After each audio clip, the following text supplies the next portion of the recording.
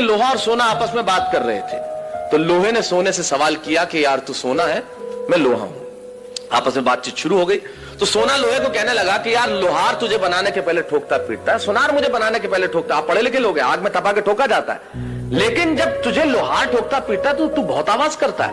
मैं तो चुप रहता हूँ, ऐसा क्यों? लोहे ने जो जवाब दिया, वो मेरी कविता की ज़मीन है। लोहे ने कहा तो ठीक कहता है सोने।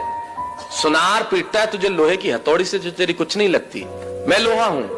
मुझे जिससे पीटा जाता है, वो लोहा है। और जब अपना अपने को पीटता है तो चीख तो निकलती ही है।